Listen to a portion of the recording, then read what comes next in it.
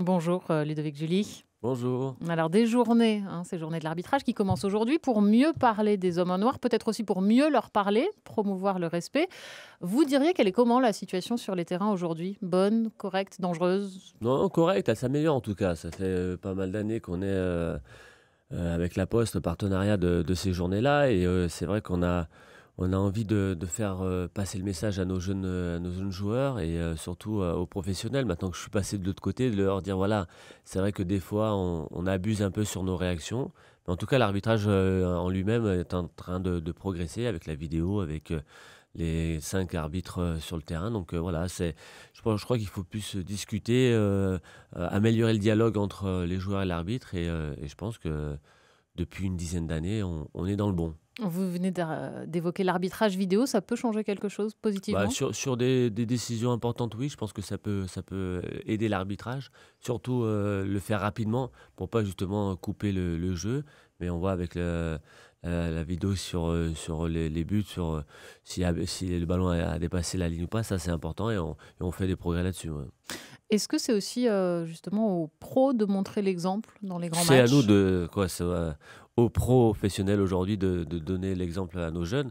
On voit beaucoup de, mauvaises réactions. euh, et euh, voilà, c'est vrai que par rapport à ça, on a, on a du boulot, nous, en tant que joueurs, par rapport au comportement et, euh, et donner le bon exemple justement à nos, jeunes. Et quand ça ne marche pas, quand finalement il y a effectivement des insultes, des agressions, est-ce qu'il faut plus de sanctions? Est-ce qu'il faut taper plus fort sur, sur ceux qui agressent? Crois que quand il y a un manque de respect ou quand il y a un geste déplacé, il faut, sanctionner. Après, euh, il y a des, moments dans, le match où euh, on peut s'excuser parce que ça m'est arrivé moi aussi de, pouvoir mal parler à l'arbitre et de m'excuser euh, dix minutes après parce que la, pression était redescendue.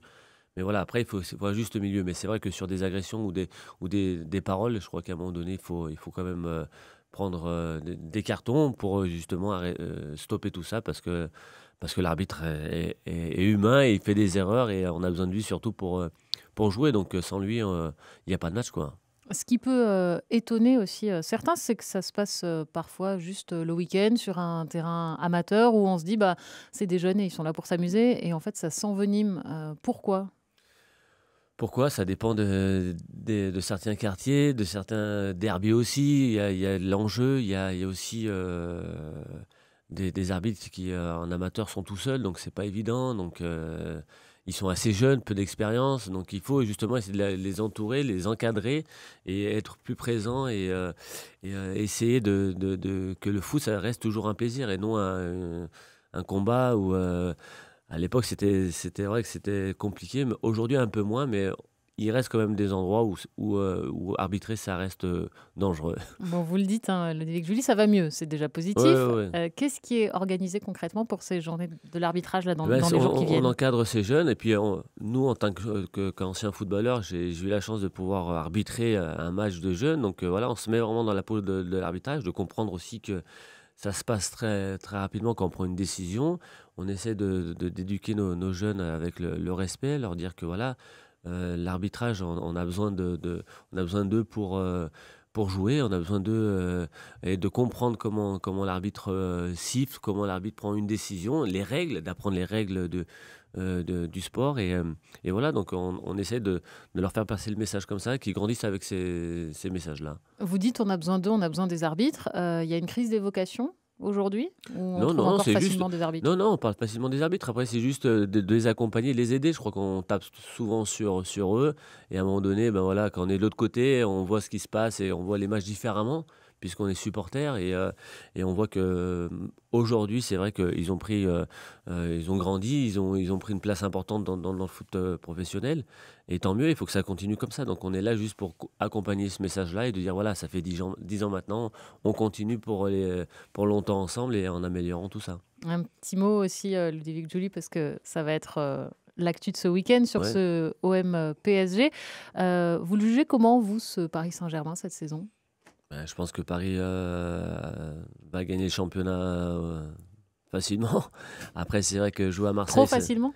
Bah, facilement, déjà, ils sont déjà à 6 points. Donc euh, voilà, euh, on, va pas se, cacher derrière, ça. Mais Paris a fait un recrutement ex- exceptionnel. Ils ont des joueurs de talent. S'ils ne gagnent pas le championnat, ça serait vraiment la crise au, Paris Saint-Germain. Après, dimanche, voilà, ça reste un, match fort, surtout à Marseille, où voilà, les supporters sont présents, où les joueurs vont se transcender. voilà, Marseille est, troisième, donc voilà, c'est pas, ça va être un gros match. C'est les matchs qu'on aime jouer en tant que, que joueur. Après, ça reste que, que 3 points. Ils vont s'éclater, je pense, sur le terrain. Que ça se passe bien sur dans les tribunes, je crois que c'est le plus important pour nous, quoi, pour les, les supporters, et, et, que le meilleur gagne, comme on dit. Vous vous prêtez au jeu du pronostic ou pas? Écoutez, euh, moi, euh, je suis, euh, je suis aujourd'hui ambassadeur de Monaco, donc match nul, ça me va bien. Allez, vendu, on suivra ça dimanche hein, sur France Bleu avec Bruno Salomon. Merci beaucoup. Merci à vous. Ludovic Julie d'être passé par France Bleu et bonne journée. Aussi.